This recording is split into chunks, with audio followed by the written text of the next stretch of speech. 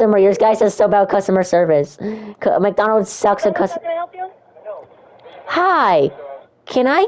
Can you guys give me a skin of Fortnite for Christmas, please? It's my birthday and I'm like 45 years old.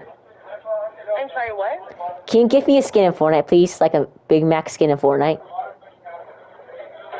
I can't understand you. Can you give me a skin of Fortnite, please?